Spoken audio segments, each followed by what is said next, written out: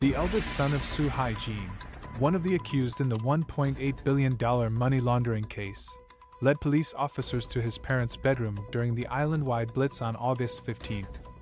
A team of officers had entered Su Haijin's home in Ewart Park in Bukit Timah, where they met his eldest son at around 6:40 a.m. He led them to the door of his parents' bedroom and called for his father to come to the door, which was locked, said Mr. Thea Yangshin. A commercial affairs department officer, in his affidavit on September 8. He said Su Haijin did not respond and officers told him to step out of the room. Despite warnings that the team would storm in if he failed to comply. Su Haijin still did not respond. The officers stormed the room and did not find him there. Suspecting Su Haijin had jumped off the second floor balcony, they searched around his home and found him hiding in a drain outside. Su Haijin faces one charge of resisting arrest and one charge under the Corruption, Drug Trafficking and Other Serious Crimes Confiscation of Benefits Act for possessing over $4 million in a UOB account. In his affidavit to support the prosecution's application that no bail be granted to the accused, Mr. Thea said the circumstances surrounding Su Haijin's arrest were telling. He said Su Haijin's son had asked his father to come to the door without giving any indication of danger.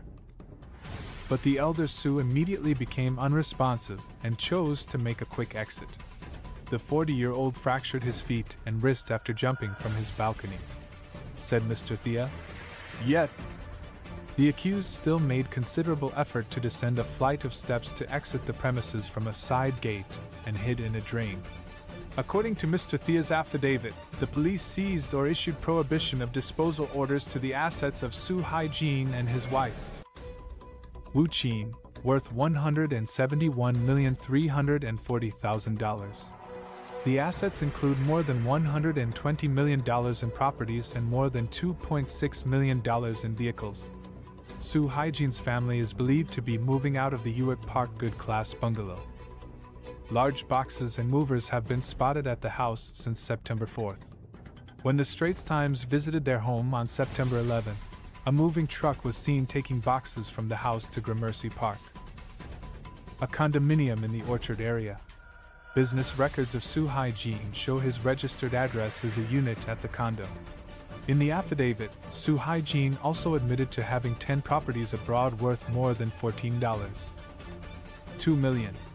They included one condo in Cambodia, three condos in Cyprus, one property at Oxford Street, London, and five condos in Macau. He also has partial ownership of a yacht named Family which is valued at 4 million US dollars 5 Singapore dollars. 45 million. He is alleged to have made payments for the yacht with Su Baolin, a co-accused in the money laundering case, and two others in 2022. The court was told the yacht was registered in the name of a fifth individual. The three unidentified people linked to the vessel had left Singapore either before or soon after investigations started. Mr. Thea said Su Haijin had not been forthcoming about his dealings with Su Baolin in relation to the yacht and other properties, and had only come clean after being confronted by the police. ST previously reported in August about the luxury yacht which had been docked at 1 degree 15 Marina in Sentosa Cove.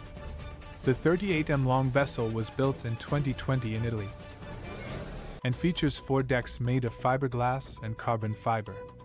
It can carry up to 10 passengers and sails under the flag of the Cook Islands, a nation in the South Pacific. An online advertisement for a similar yacht in Turkey has an asking price of about 15 euros.